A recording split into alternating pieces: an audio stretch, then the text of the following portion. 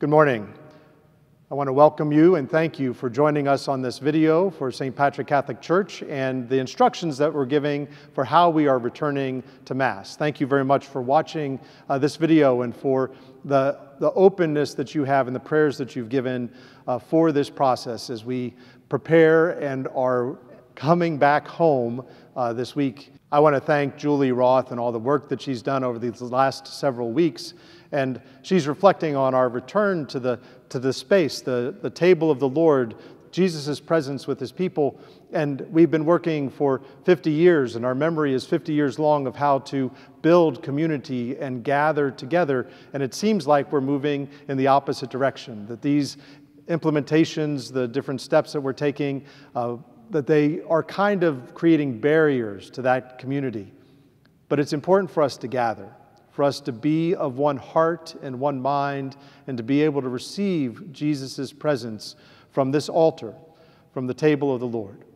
So we open our hearts to that mystery and thank you for being attentive to the instructions in this video and also to, to help that go smoothly when we come back together again and perhaps for your anxieties to be eased a little bit in knowing what to do and how to gather as we are trying to do so both with safety and reverently, so that we can, as a community, worthily celebrate Jesus' presence in the Eucharist and that we can be safe as we do so.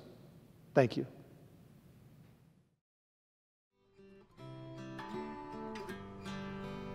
Before coming to Mass, make sure to wash your hands for 20 seconds and bring your mask or face covering to church. Upon entering the church building, wear your mask or face covering at all times and use the hand sanitizer provided. The nursery and cry room will be closed. Clergy will not be shaking hands before Mass. Staff and ushers will seat families as they arrive in accordance to social distancing guidelines. Families will be spaced out, and some rows are blocked off because of this.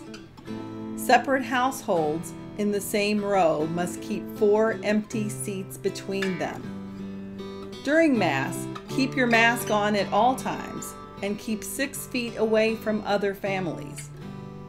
Do not shake hands during the sign of peace or hold hands during the Our Father. Offertory baskets will not be passed out, but offerings can be put in the offertory boxes in the aisles in the back of the church. Donations made online are also an option. During communion, families will be directed by ushers. There will be markers on the aisle floor to keep attendees socially distanced in line. Communion will be given by tongue or by hand. The precious blood will not be offered. To receive communion, loosen your mask at the front marker. Approach the clergy. If you receive communion by hand, step to the side to consume. If you receive communion by the tongue, do so. After receiving communion, put your mask back on and return to your seat. There will be no private prayer after Mass. Attendees are asked to not congregate in the gathering space or on the plaza and should instead maintain social distancing guidelines while returning to their cars.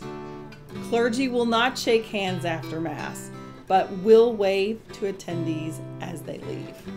The church will be cleaned and sanitized after Mass by the staff for the next Masses. Clergy and staff will be screened for symptoms regularly and are engaging in hand washing and sanitizing to ensure the safety of all attendees. If you or your family members are immunocompromised, feeling ill, or have a fever, stay safe and stay at home. Our 5 o'clock Saturday Mass will still be live streamed for those who cannot be at church in person, and it will be available on our YouTube channel throughout the weekend.